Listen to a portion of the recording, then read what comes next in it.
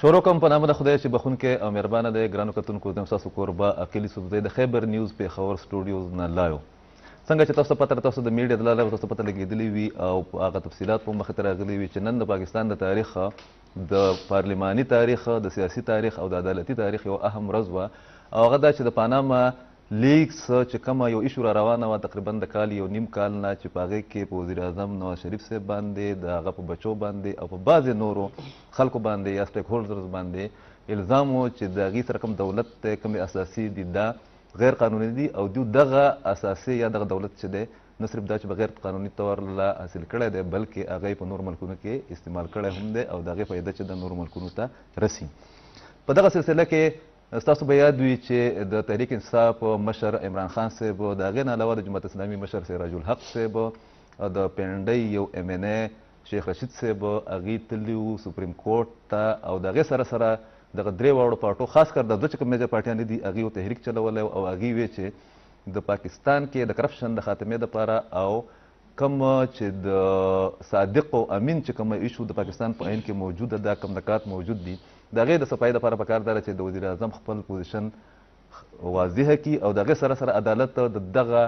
ټول ایشو یا د دې ایونټ یا د دې الزاماتو پلټنې وکړي د هغې تحقیقات وکړي او بیا یو تحریک چلېدو تحریک په نتیجه کې عمران خان صاحب ایغ په نیغه باندې د یو منتخب وزیر اعظم او د هغه د حکومت نه مطالبه وکړه چې وزیر اعظم صادق او امین نه پاتې شوی نو لهذا هغه دې مستفی شي تقریبا د یو کال پورې دغه کیس چې د هغې سماعت شو په زرګونو د هغې دستاویز چې دي د هغې تبادله وشوه په سوونو ګنټې چې دی په هغې کې مختلف وکیلانو زمونږ چې کوم پنځ رکني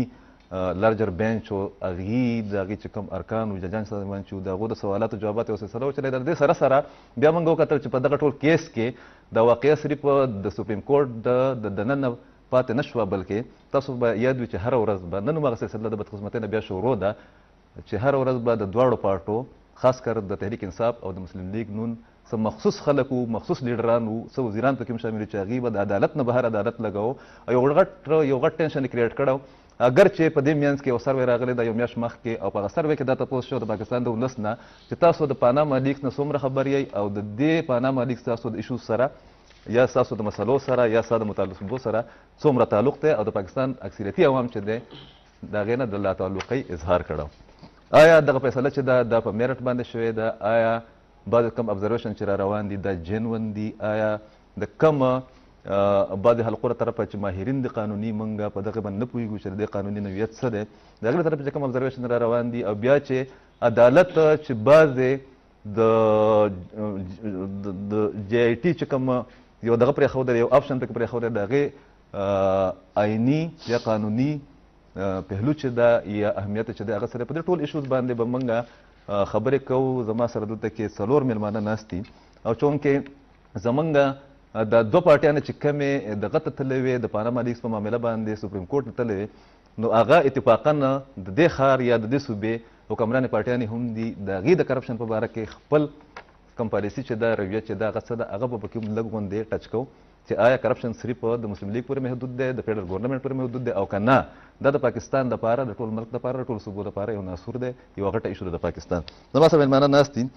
بیرمن صاحب دی هغه د پاکستان پیپل پارټۍ سره تعلق لري تاسو د خیبر نیوز په شیشه باندې ګوره ډېر متحرک لیډر دی د هغې سره چې دی محمد علي صاحب دی ایم پي آی د جماعت اسلامي او هغه هم تاسو چې دی د اسمبلۍ کې چې کوم بعضې سرګرمیانې کېږي په هغه کې ډېر زیات د فعالیت په حواله باندې تاسو ټول پېژنئ زما سره ارباب محمد طارق صاحب ایډوکیټ ته چې هغوی په دغه ټول ایشوز باندې نه صرف دا چې ډېر جوړ نظر لري بلکې د مختلفو پارټو د لارې چې دی هغوی په سیاسي هلو ځلو کې او بیا په سماجي خدماتو کې چې دي په هغې کې ډېر زیات یو مهم کردار یې مو ادا کړی د هغه سره سره چې دی موږ ته یو ډېر ښه سابقه بیوروکرات هم ویل شو تاسو هرکله یم زما سره نورانم خان ایډوکیټ دی چې هغه نه صرف دا چې وکیل دی بلکې د چیپ د جسټس اینډ ډیموکراټک پارټي د هغې سره تعلق هم دی تړون هم دی ورسره تاسو هم په پروګرام کې هرکله یم تاسو راته دا ووایي چې موږ خو عام خلک یو موږ خو څنګه چې ما په تمهید کې خبره وکړه چې څنګه دغه دوه پارټو خلکو بهر دغه لګولې وې هغه جلسې به یې کولې او بهر عدالتونه لګولي وو دغه څومره دغه ټول کال چې موږ پراسیز وکړو دغه رنګ زموږ میډیا چې ده نو هغه هم هغوی به هم هره شپه په پاناما لیکس باندې چې دین خپل میدانونه چې دی هغه به یې سجاو کړي وو عجیبه عجیبه خبرې به کېدې چا به یوه تبصره کوله چا به پیشګویي کوله چا به د یو سایډ ملګرتیا کوله چا به د بل میډیا به کوم پرې کښې وه خو ایشو د واقعیتا دومره وه چې هغه نظرانداز کېده ځکه نه چې د پاکستان په وزیر اعظم باندې ډایرکټ چې د الیګیشن راغلی نن چې کومه فیصله رااله په دې باندې ستاسو خپل ماهرانه رای چې د نو هغه څه ده زمونږ هغه دا ده چې نمبر 1 ته ټولو پاکستان کې یو دا یغه شروع وه چې شاید دا پیسې چې دی چې کم کرپشن شوی دی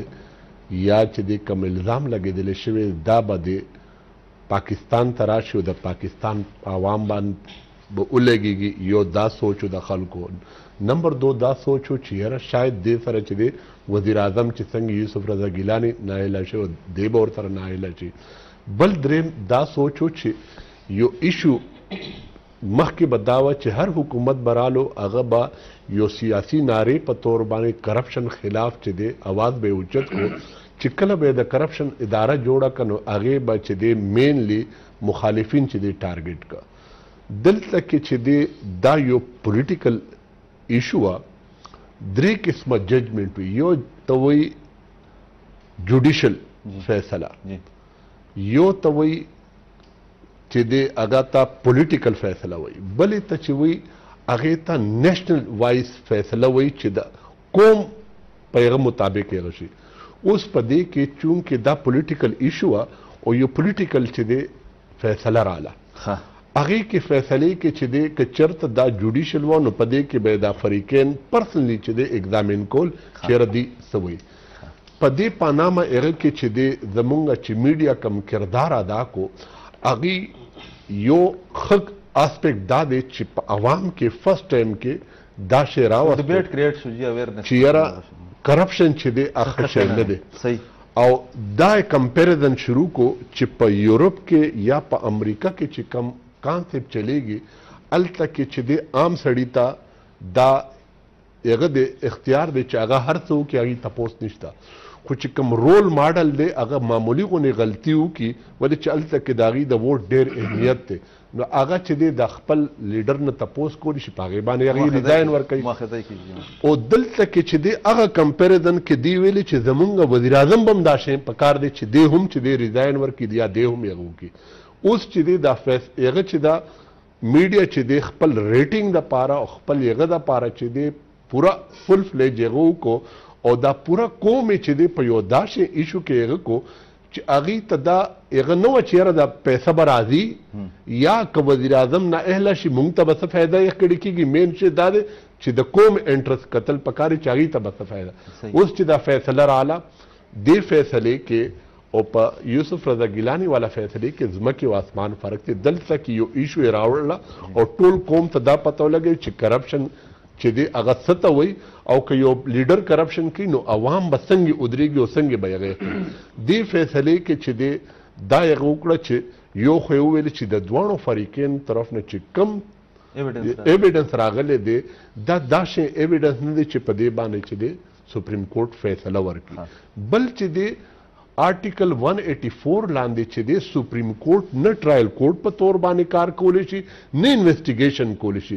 آ یو شی ډیکلیر کولی شي چې آیا دا کرپشن شوی دی او که نه دی شوی دا مونږ مخکې هم چې دی په هغه کې ویلي چې په دې کې ایون چپړاسی به هم کور ته نه دی دې کې صرف سپریم کورټ ته دا مینډیټ ورکړی چې آیا دا وګورئ چې دا هغه شوی دی که نه په هغې کې دوه شیزونه يو چې کومه پراپرټي يې کړې شوې وه هغه بهر ده دويمه چې کومه چې دې پاناما ليک چې دې آ يو دا چې انسکينډل دې افشور کمني جوړېدل چې دا څه غلط کار نه دی په هر دی کې جوړیږي ایون په دوبۍ کې که چرته ته یو شی اخیستل غواړې نو هغې کې دا نه دی ته چې په خپل ترو باندې یالی نو اټاره پرسنټ تا باندې چې دی ټیکس را دي هلته کې افشور کمپنۍ خل دې دپاره جوړوي چې هلته کې یو حکومت سره ډیل هم کوي او د حکومت سره د هغي یو بل باندې هغه کال په کال باندې دلته ایشو چې ونه د وزیر اعظم د غلط بیانې و تاسو دا ویل غواړی دا ده چې په دې کې دوه غراله نمبر چې کوم په ګډه سس کیږي دا غیم دا وجه نمبر 1 دا رااله چې وی ویلې چې یره دا یغه ډاکومېنټس یغه نو دویمه دا چې د لپاره فردر یغه په کار دی چې آیا دا کرپشن شوی دی او څوک ذمہوار دی دویمه یغه دا پکې کړه چې دوه ججانو چې کوم چې دی د سپریم کورټ ججان دي هغوی ویلي چې اخلاقي طور باندې چې کوم پارلیمنټ کې او د دوی سټانس او کوم کتري خط چې دی د هغې په بنیاد باندې هغې ویلي چې یاره دا شی که یو سړی چې دی هغه وکړي نو اخلاقي طور باندې هغه ته ریزاین ورکول خو چې دغه ځای کې ما لږ رهنمایي وکړئ د تاسو ډېر ښکلی د هغې هغه پوره بیکګراونډ چې دی بیان کو دا دوه جسټ په اسف سید کوسا او جسټ ګلزار صاحب چې کومې خبرې دغه کړې دي دا جسټ ګلزار صاحب هغه ابزرویشن نوټ دی جی جی آیا د دې نه خو هغه تحریک انصاف یا بعضې ماهرینو دا رایه واخیسته چې نه هغوی مخالفت کړی دی د هغو ووټ چې دی دا راته ایکسپلین هغه کړي وایي د دې چې لیګل کوم پوزیشن څه چې دی دی په پارلیمنټ کې یا چې د دې کوم سټانس دی د دې په رڼا کې چې وکتل شي د صادق امین چې کوم ډیفینیشن دی په هغې کې هغه نه راځي او دې ته پکار دا ده چې اخلاقي طور باندې ده ته ریزاین ورکول پکار اوس هغه ایون که دا درې ججان پنځه ججان هم وي کنه نو وزیر اعظم چې د ناهلي کول دي نشي لکه د دوی سره د سزا په عامه پښتو کې خبره کوو چې د دوی سره سزا اختیار نه اختیار نو صرف به دا ویل بیا به دا الیکشن کمیشن ته تللی او پارلیمنت ته بتلې دا شي دی سره دانو دی به دا ویلي چې یاره دا خبره ده دا هغه میډیا د دې نه خو ماته رښتیا خبره ده چې دا میسج کنوی شو چې میډیا هم د پولیټیکل هغه سکورینګ لپاره استعمال شوی دا خو د دې بیسک چې کوم چې د دې د دې ریټینګ لپاره کړی شي اوس هم اختیار څه دی نه ټی ته چې دی هغه پهله به جی ټی ګوري په ورځو کې چې دا ایشو څه شي دا بیا به ا فارمولیټ کوي چې فارمولیټ کی بیا که په هغه کې دا هغه نتیجې ته ورسیږي چې کرپشن شوی دی پیسې ایلیګل تللی ده بیا هغه سړی را غوښتلی شي که هغه حسن نوا دي که مریم نوا دي که چرته هغه په دې نتیجې باندې ورسیږي چې نه دی شوی نو یو بم وزیر اعظم چې دی ان کیس یو غټ پوسټ باندې دی که چرته د هغه ضرورت پیښ شي نو هغه یې کولی شي ادروایز زبردست زبردست تاسو ورسره د مجید یعنی زه چې دې دا نه وایم چې یره د یو پارټي یا د بلې پارټي مرګرتیا نه کوم یا سپریم کورټ چې دې دا نه وایي چې کرپشن شوی دی یا نه دی شوی هغه سره د دې څه غنښت اوکې میرمن صاحب د وکیل صاحب دغه دغه وکړه خبره هم وکړه چې په دې کې د نن ما د اسد زرداری صاحب غو پریس کانفرنس هم وکړو الته کې اعتزاز خان صاحب ډېر غټ نوم دی ډېر غټ پارلیمنټیرین دی ډېر غټ وکیل هم پاتې شو هغه خو په دغه د عدلیه باندې بالکل د عدم اعتماد اظهار یې وکړو او هغه کوم چې د عدلیه د ازادۍ لپاره کوم تحریک شوی په هغې باندې هم کوېسچن مارک ولګوله پیپل پارټۍ خو دا ریجکټ کړه دا فیصله خو دا یو تاثر چې دی نن ډېر زیات دی چې د پنجاب وزیر اعظم یې د هغه سره یوه رویه کېږي که د سن یا د بلې صوبې یو وزیر اعلی د وزیر اعظم د هغه سره بله دغه کېږي دا تاثر چې دا به موږ یا ستاسو پارټي چې دا دا په څه ګراوند باندې بسم الله الرحمن الرحیم جسټیفای کوي به بسم الله الرحمن الرحیم عقیل خان نمبر 1 خو زه د چودري تهار صاحب ریپرزینټیټیو ته ویم چې لکه د دغه خبرو نه دا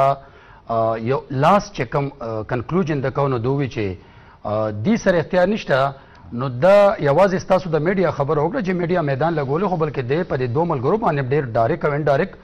د بالکل باقاعده د دوی هغه ډیسیژن ختم کو چې دوی عدالت ته تللی دی غلط کړی دی قوم ته نه نه جی دا وی چې دا هغه خو دا سټیټس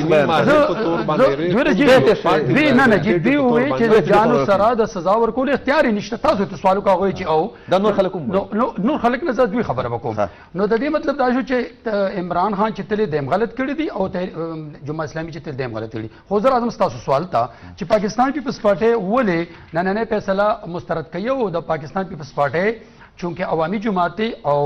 او د ټول ملک کې زما په خیال د ټول زیات او ټول د ټول زیات الیکشن ګټل دي نو په دې بنیاد باندې هغه به که تاسو کتلی وینو د نن 40 سال مخکې تقریبا بټو صاحب جوډیشری چې کم قتل شوی دی نو هغه تاسو مه ته دی بیا دا غینه پس که تاسو وګورئ چې کله شهید بیبي په یو آئیني یو منتخب حکومت ختمیږي او بیا د دې عدالت دا سپریم کورټ هغه ته وایي چې دا ټیک شوی دی د دې حکومت هم ټیک ختم شوی دی او د دې حکومت ته ختم شي بیا سیم ټو سیم یو هغه پریزیدنت بیا د یو ملک یو منتخب وزیر اعظم ختمي او دغه سپریم کورټ وایي چې دا غلطه فیصله شوې ده او هغه بحال کړي بیا دا غې نه پس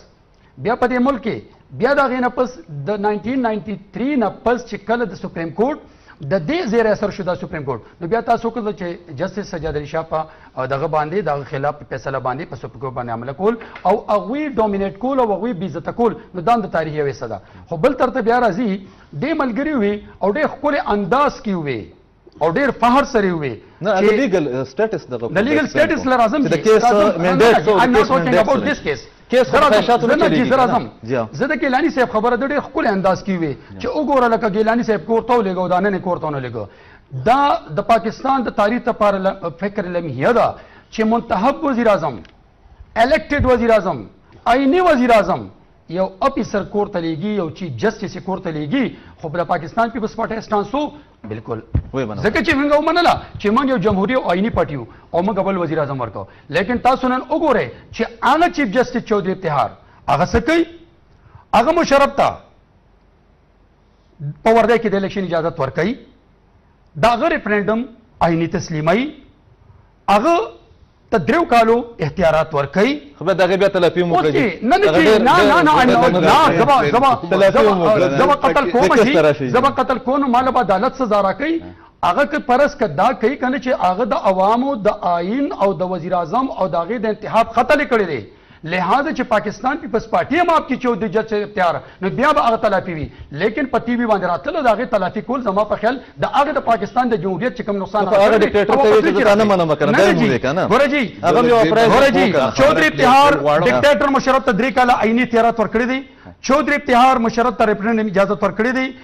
جسټس هم دی ډیکټیټر مشرف ته په ورده کې د الیکشن اجازه ورکړې دي اوس تاسو ماته وایي چې دې جسټیفای کوي چې ګیلانی ټیکلاړو دا غلط لاړو دا چې کومه فیصله کړې ده دام غیر عیني ده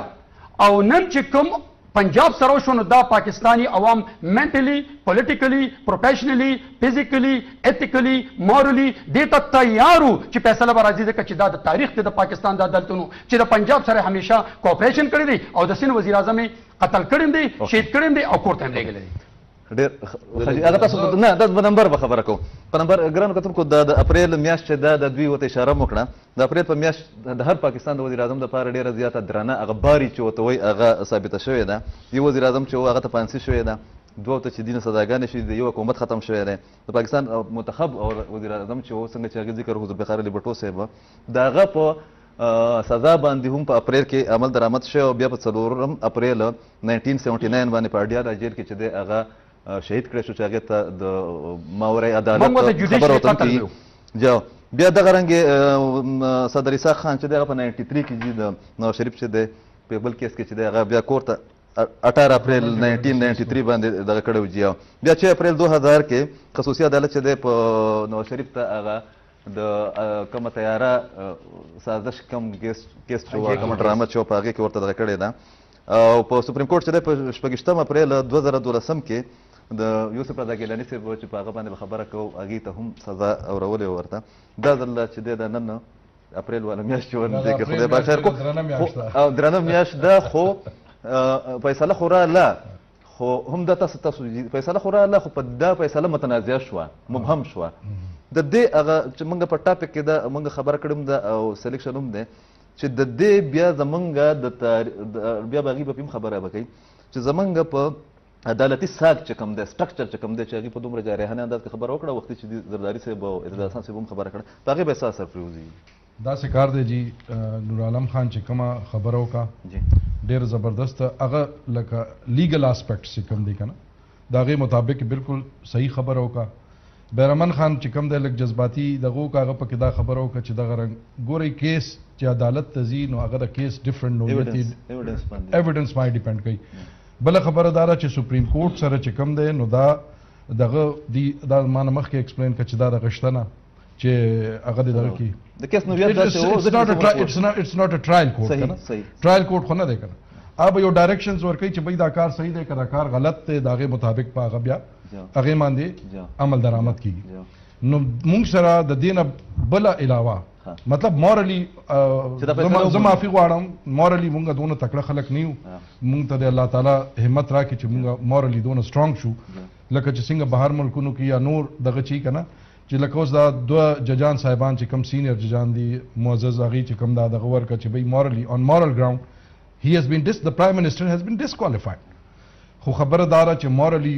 هغه خبره پاتې فریم ورک هی شوډ ریزاین هی شوډ ریزاین هی ډیفینټلی هی شوډ ریزاین زه بریک ته زما تاسو ماته صرف یو دغه راکړئ چې کوم چې هغه خبره وکړه یا زم دغه سره مطمئن یم یا زه په زما خپل خیال دار چې هم داسې بوي چې کوم منډیټ د دغه کیس د بیسیک یا د بنیاد په حواله باندې الته کې سپریم کورټ ته تلو دغه مطابق دا فیصله شوې ده فریم ورک شوی ګران کتونکو دنه بعد چې د سیاسي اړخونه د دې سری اثرات به سي او زمونږ د ملک پارلماني او عدالتي مستقبل سره په هغه باندې خبره کوو د بریک نه بعد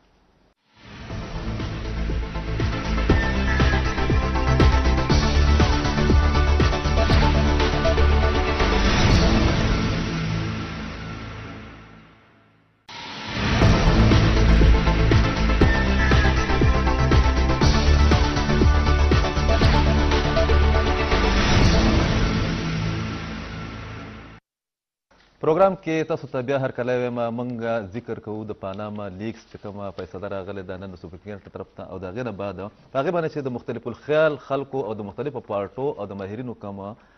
بیانات را روان دي کوم رد عمل روان دی په هغې باندې موږ خبره کوو تاسو خپله خبره کمپلیټ کړئ جی.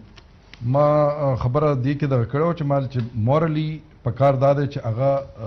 میا صاحب چې کوم دی مورلی هی هیز بین ډیسکوالیفاید ډیسکوالیفای شو او بل دا چې 62 63 ا چې کوم دغه دی هغه کې هغه بالکل هی از ناٹ الیجیبل ټو او دی افیس اف دی پرایم منسٹر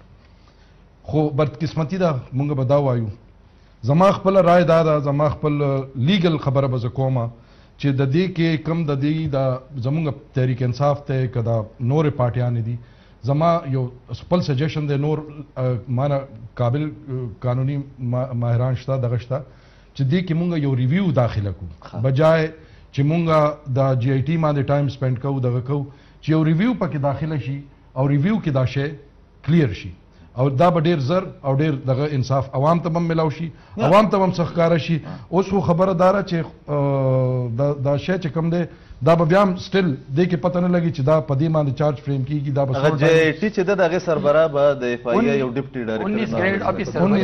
اوس یو 19 ګریډ افسر به راځي هغه ریویو ته تللی شي په قانون کې بالکل بالکل بالکل ریویو کې به تاسو راته وګم تاسو مدعیان پاتې شوی جی د دغه خبره ده اول خو راته دا ووایي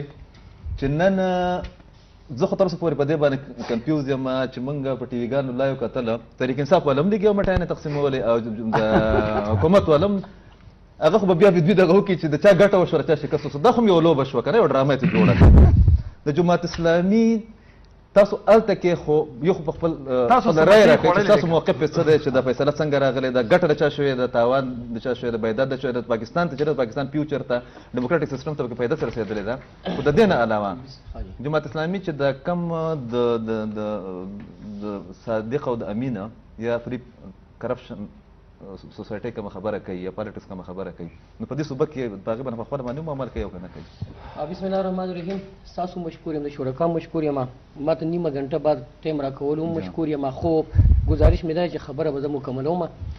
داسې دی چې زمونږ جماعت اسلامي د وخت نه د موقف دی او 1996 تاسو ریکارډ راوالی په پا پاکستان کې اولنې د کرپشن خلاف خبره دا جماعت اسلامي کړله قاضي حسین احمد صاحب الله د خاورو صوبخي دا د هغه ناره وه 1996 کې د 1996 نه مونږ جماعت اسلامي دا یو موقف دی چې پاکستان کې ټونه لوی مسله او پرابلم یې دا کرپشن دی په پاکستان کې څونه ادارې دي تاسو وګورئ د هر ادارې لاندې د د نایب قاصد نواله او د 20 او د 22 ګریډ افسرانو پر دا ټول کرپټ دي پاکستان کې چې څومره زمونږه اوس پورې سربراهان راغلي دي نو یو تم چرته کلین چټ نه ملاو شوی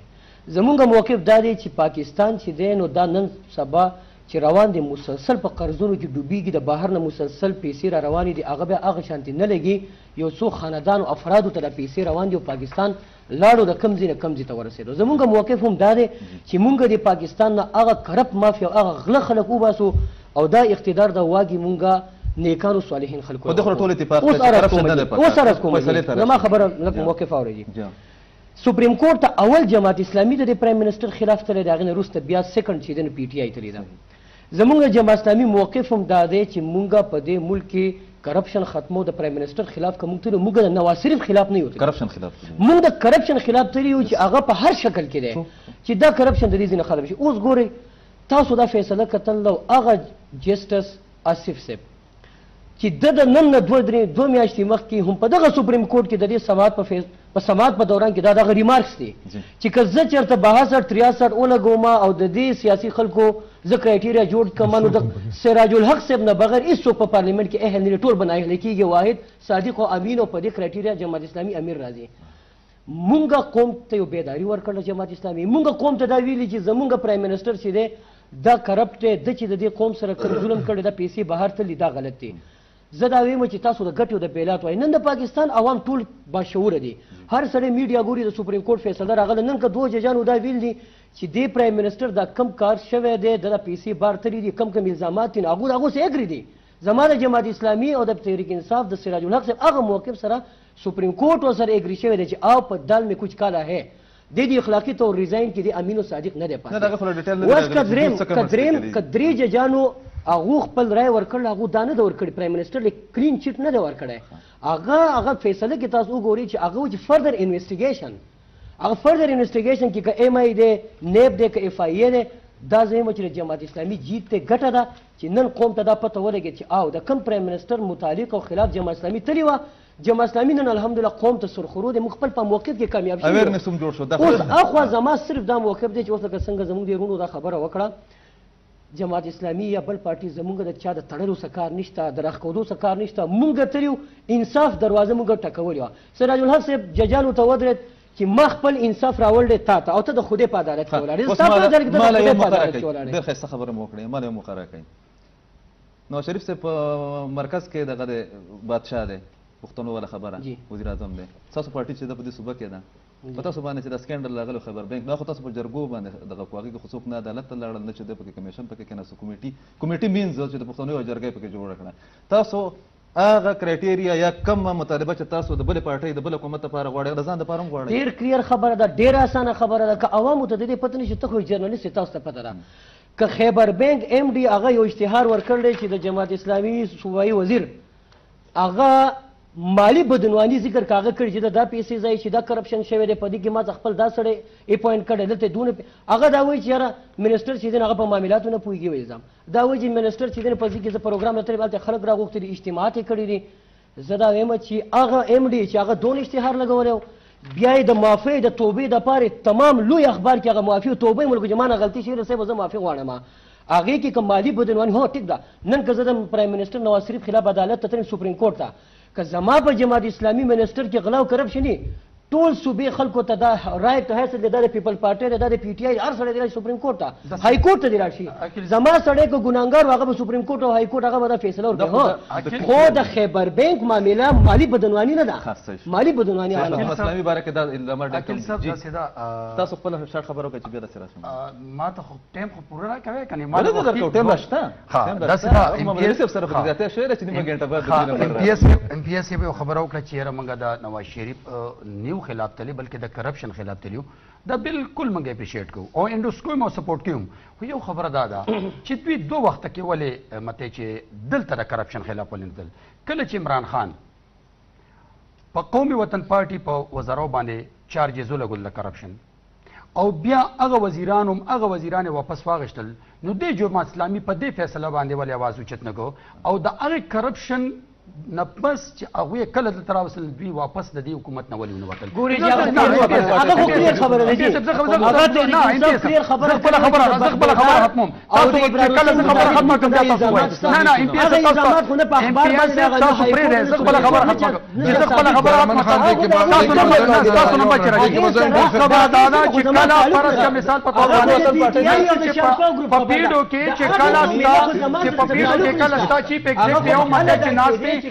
چې هغه انلیګل هغه اپوینټمنټ شوی دی ته دغه خلاف نه دی ته د نواز شریف نه راځي چې هغه ته دغه خلاف دی ته د خپل حکومت سره خلاف دا په حکومت کې چې کوم خلاف دی سړي کوي کوم انلیګل چې شوی دی دا هغه د پیسو ولې ته کړه کرپشن دی د نواز شریف د کراب خلاف شن دی ځکه چې ته هغه مخالفي نو ته په حکومت کې چې دلته پیډو جوړ شوی دا دا هغه چیف ایگزیکټیو انلیګل دا هغه خلاف نه دی او بیا چې ستا په خیبر بانک کې دا خیبر بانک کې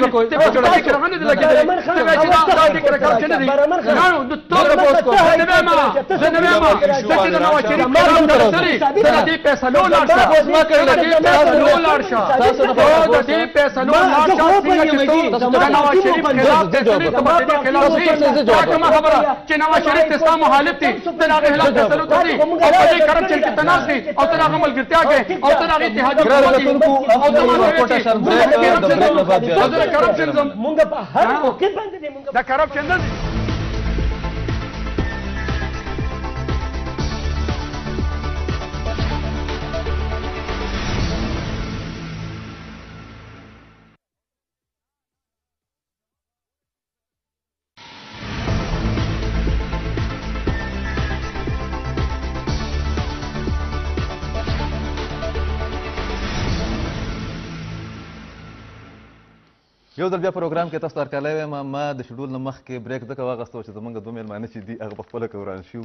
او په کار داده چې زمونږ د پروګرام یا د میډیا یو کار دا هم دی چې هغه د مکالمې بنیاد کې دي او د هغې سره سره مختلفو لیډرانو ته صاحب الرای خلکو ته مختلف الخیال خلکو ته د میډیا د لارې دا مقام ورکړي چې د هغې په منځ کې کراس کوېسچنز او انسر چې دا هم وشي تاسو بیا خپله خبره مختصر دغه بل دا چې د پاناما کیس کې عقیل صاحب زه یو خبره تاسو ته کوم چې کوم ډي سي جنرالو بېشک چې د پاکستان قوم وکتل پاکستان پیپلز پارټي دا وایي چې به د پیپلز پارټي خلاف او د پاکستاني قوم خلاف ټول عمر د پاکستان ججز چې دي یا جوډیشري د خلاف راځي فیصله او موږ دا نه اکسپټ کوو موږ یې کنډم کوو خو بل تر ته کپرس کنه نواز شریف ته تاسو ګوره دی وخت کې هغه که سبا لرازي ماخام راځي قوم ته به خطاب کوي ایز ا پرایم منسٹر من دا ویو به حیثیت یو پولیټیکل ورکر او د یو پارټي نماینده به حیثیت چې د په کم حیثیت باندې د چیف ایگزیکټیو پروسه سمبالي قانوني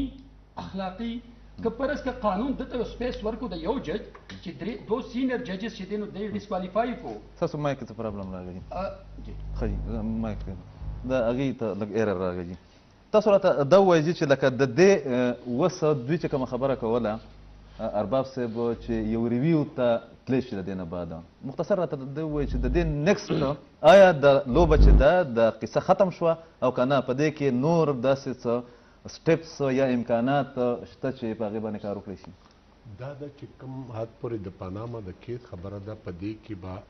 آینده هم چې دې څه پیشرفت نه کیږي دا صرف د پاکستاني قوم یو جیت دی چې هغه دې ته هغه شو چې به حیثیت کوم چې دې د کرپشن خلاف راپاتېدله ما تاسو ته څنګه چې وې چې بار ملکونو کې لیډر چې یو رول ماډل وي عوام هر څه کوي چیټینګ هم کوي هر څه کوي خو د هغې نه څوک تپوس نه کوي دلته کې پاکستان کې ټوټلي ډیفرنټپاکستان ټوټلي ډیفرنټ هغه دی دلته کې عوام که معمولي غوندې غلا وکړي که نه نو هغه ته سزا ده دلته کې لیډر ته چې دی فری هند ورکړی شوی دی. که تاسو خبره کوئ چې زمونږ جسټس نظام کې او ګورننس نظام کې چې دی وسیع اصلاحات پکار دي، خو نواز شریف وایي چې زه کوم کنه. نه جی دا دی چې په دې کې زمونږ په ګورنمنټ کې چې دی پولیټیکل سیستم بعضې طبقې دا شین دي چې انا کام کول غواړي هغه دا پروجیکټ کول غواړي چې دا پارلیماني سیستم چې دی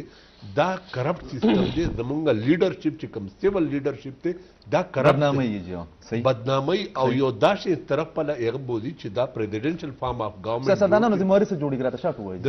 سیاستدانانو داري دا جوړیږي چې د خپل مسلې چې په پارلیمنت کې هغه کې واغه ټیو آر جوړ کی سپریم کورټ ته نه دی تراتل پکارو نه ادارې ته چې دی په داسې ازمایش کې اچول پکارو چې هغوی ون وې ار د ادر وې فیصلې وکړي، که چېرته مونږ سیاستدانان دا شان کار شروع کړي چې خپلې مسئلې چې دي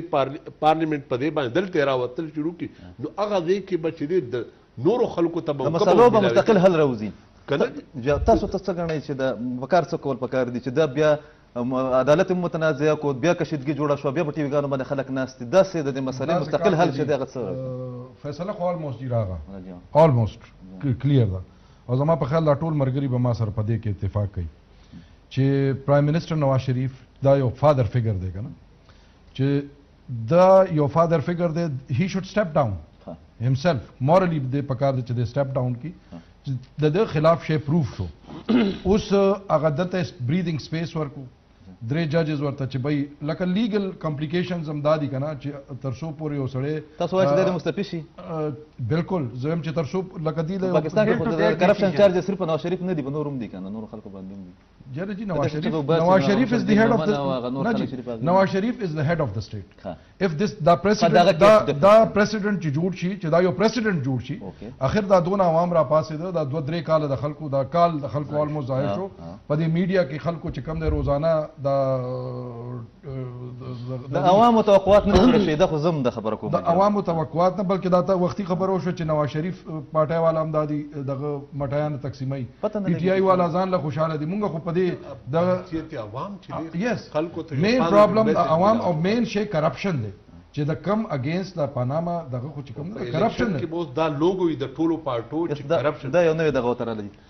زه صرف دا وایم کنه جی دا خو یو کیس دی چې څنګه موږ ګورننس ټیک کولی شو بار بار به موږ عدالت ته ځو عدالت د دې لپاره خو نه دی چې هغه د عمران خان او رسول رجل حق او د زرداري صاحب او د دوی کیسونه دی که هلته خو په زرګونو باندې په لکونو کیسونه چې پینډینګ پراته دي اسانه خبره ده اداره د جاتي دغه به څنګه اسانه خبره ده چې دا پروګرام ختمي کې خو زما خبره مکمل کوم اجازه راکړئ جی دا ټول مین ګناه چا د عوامو ته ده عوامو ته ګناه ولې ده شریعت ته د الله حکم دی یو ته امامت کبرا یو ته امامت صغرا موږ جومات ته پاره چې کوم امام نیسو خطیب دی ته الله وایي زه ورته نه وایم الله وایي چې دا امامت صغرا دی زه چې خپل جومات امام نیسم نو دون اهتمام کوم چې ښه مسو مسرات پابندي ښه عالم دیني ډېر نیکو پرهېزګار سړی زه سړو ته دا ماډل نمونه پیش کم چې زما په جومات کې دا امام دی راشه وایي ګوره دونه قابل او اهلیت لري دومره په دین او په قرآن او په سنت پوره دی الله وی چې دا امامت صغرا دی خو زما او ستا ایم پی ای ایم ان ای گورنر وزیر اعلی صدر وزیر اعظم دې ته خدای وایي چې د امامت کبرا دی نو بیا دا عوام دا سوچونه نه کوي ځکه ایم پی ای ایم ان ای لا ځکه پرایم منسٹر وزیر اعلی راولم هغه له زولي داسې سړي لوټ ورکوم چې هغه شرابي دی ځاني دی زیناکار دی کرپټ دی پاکستان لوټي زه خپل په لاس باندې غل سړی وزیر اعظم راولم هغه د ملک په دوه لاسو باندې لوټي دا عوامو کې پکار دی پکار زما تر ما د شرعي مسله وویله دا عوام بیا جړې خدای پاک دلته دماکي دي دلته سیلاب دي دلته بیروزګاري ده مهنګایي ده ملک لوټي الله رب العزت فرمایي چې ظهر الفساد فی البر والبحر بما کسبت ایدی الناس دا په ځمکه په خوش کو پتر چې کوم آزاد راسته خپل د لاسه دی زه داسې حکمران راولم چې هغه ملک په دوانه لاسو لوټي او بیا په دې ملک چې دینو عذابونه الله نازلې په کار دی چې دا عوام دا سوچ ولې نه کوي 2018 الیکشن را روان دی پکار ده چې دا سپریم کورټ خو فیصله ورکړو چې دا سړی په ده باندې الزامات دي د پاکستان د سیاسي لیډرانو ته لیست راوړه ټول غله دي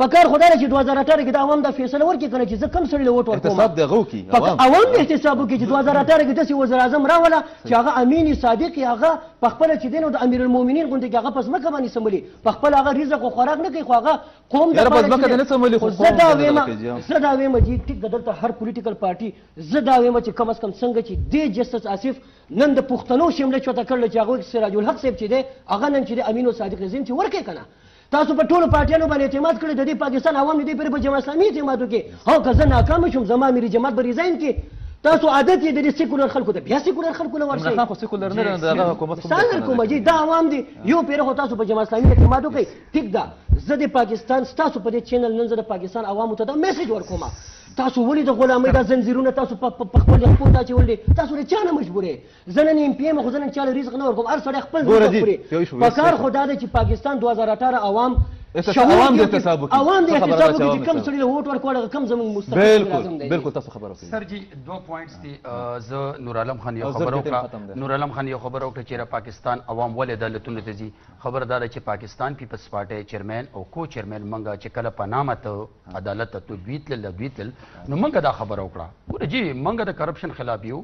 لګ یو ډیر یو دوی لګ دی ډیر دی او موږ دا خبره وکړه چې بای عدالت ته مزه چې موږ دلته کې دا د قوم فیصله ده د عوامو فیصله ده چې موږ کینو موږ خپل یو سټیټي جوړ کو نن هغه خبره کیږي څنګه چې وکیل صاحب وی چې بای ریویو تتل پکار دی موږ بیا دا یو خبره کو چې ریویو تتل نه پکار د پاکستان د عدالت نه د پاکستان د عدالت نه نواز شریف په موجودګۍ کې ته د قوم او د ملت ته فیصلې امید نشي کولی بل تر ته بیا دویمه خبره دا خبره ده چې بای دا